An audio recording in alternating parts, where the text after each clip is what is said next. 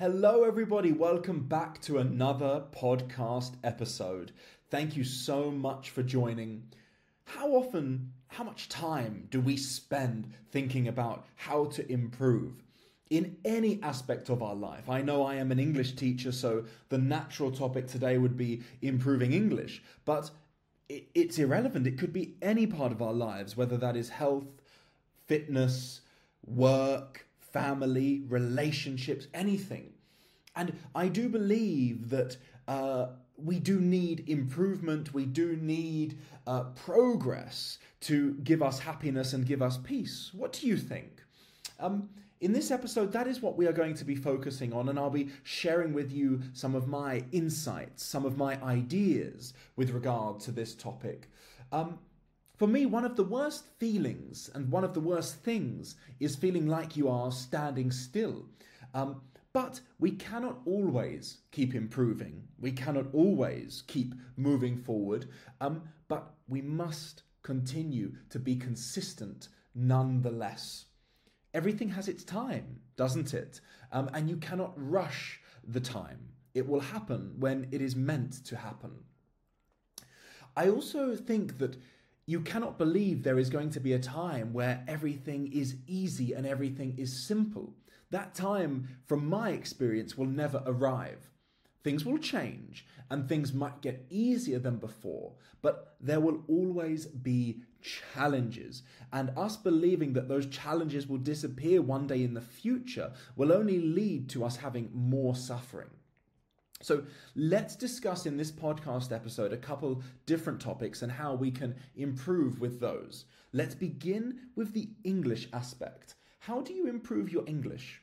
I do go live on Instagram occasionally, and this is normally the most common question. How can I improve my English level? How can I speak better? How can I understand more? And the simple answer is by doing something, you improve. But it's about doing things, doing the right things, and being consistent enough for a long period of time. So, if we think about English, you need to be uh, you need to have access to the right knowledge, you need to have the right positive influences around you, and then you need to do it for long enough to see improvement. You can take this as a red flag. If you have been doing it for a couple of years and you have not improved, then the problem is not the consistency, but the problem is the method or the process that you are using. Okay, but if you have only been doing it for two months and you have seen no improvement, then the problem is the consistency. You need to do it for a couple of years before you see that real change. Now, there are great books that you can use to improve. I love Raymond Murphy Essential Grammar. I love the Speak Out English books, which you can use for learning great vocabulary and expressions. And there are so many free resources online. You are listening to this podcast for free. You can listen to or watch YouTube videos online for free at English Life with Benjamin. And uh, you can see so many great things on Instagram and TikTok. But I would just be clear and be focused on what your goals are. So, whether you're trying to expand your vocabulary, whether you're trying to solidify the grammar knowledge, or maybe to, um, I don't know, improve your comprehension skills, be clear about your strengths, be clear about your weaknesses, and focus on those. With that, you will see improvement one way or another. As we move on to our other topics, you will see that there are many similarities between the topics. So, thinking about health, how do you improve your health? Well, first things first, you need a very clear plan. What am I trying to achieve? Just like with the English. Am I trying to lose weight? Am I trying to build muscle? Am I trying to be more flexible? Am I just trying to be healthier in general? Whatever that may be, we need to know that before we create a plan. Once we have chosen our desired goal, we create a plan based upon that and then we implement. Now, consistency is key. Just like you must study English at least five days a week, every day would be even better, you must also work on your health every day of the week. That does not mean that you need to run 10 kilometers every day, but it means every day you do something. Because even if you don't do something for one day and you lose the momentum, it is incredibly, incredibly more difficult to go back the day after you missed the day. Trust me. So, creating that routine and keeping that momentum is so beneficial. And this applies to everything. Even if there is a day in which you do not want to do anything, you don't want to learn English, you don't want to do any work on your fitness or health, still do it. Go through the motions. That means just do it. It doesn't even have to be good, but just do it. And you will be grateful because there will be days, probably more days, that you don't want to do it than when you do. Uh, and if you don't do anything on all of those days, then you are never going to see any improvement. So go through the motions even when you're feeling bad about it if we're talking about even your mental state as well, you need to create a plan. I think everything is about discipline, routine, consistency. However, even if you have a routine, that does not mean you cannot be creative within your routine. You could have a routine which says every Friday I do something new, but that is a routine, isn't it? That is consistency. Let's think about the mental state for a moment, shall we? So, what are some things that you can do to improve your mental state? Exercising is one of them. It gives you such positive energy. It clears your mind. It makes you feel better. It gives you more energy. You need to eat good, clean food. Even if the junk food tastes good when it goes in your mouth, if you eat good, clean food more often than not, you will feel better. Sleeping well, going to bed early, waking up at the same time every single day makes you feel better. Having goals that you try to strive for and achieve every single day, every single week, every single month make you feel better. Focusing on improvement, focusing on positive things make you feel better.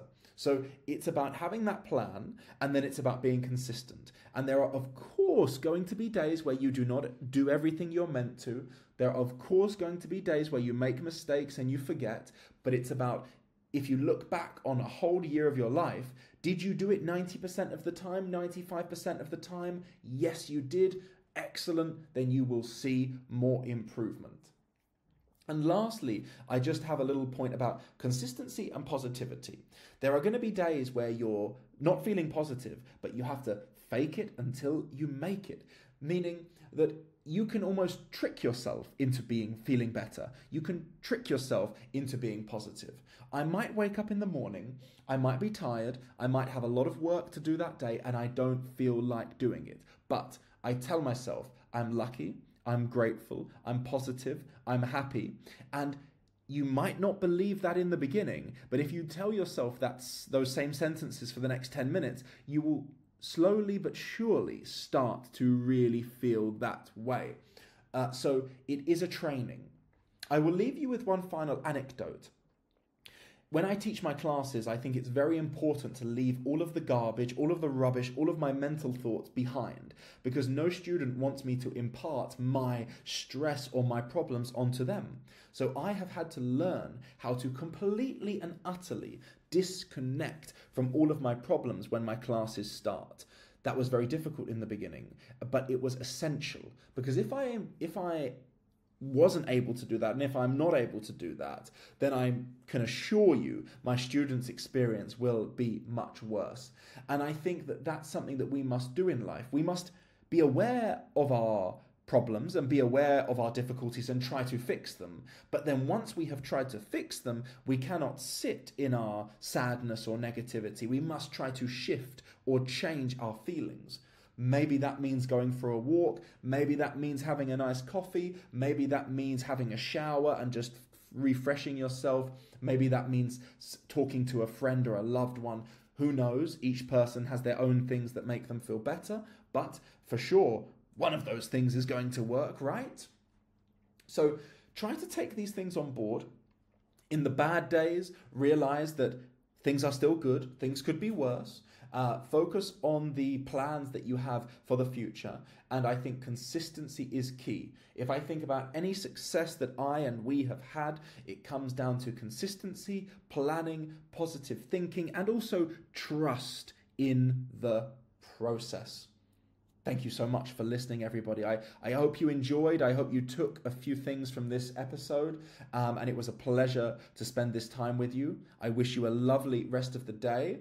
Uh, please feel free to give this an, a five star rating if you enjoyed. And you know that we also have the YouTube channel and we also have the Instagram channel at English Life with Benjamin. Have a lovely day, and I look forward to seeing you soon. Bye for now.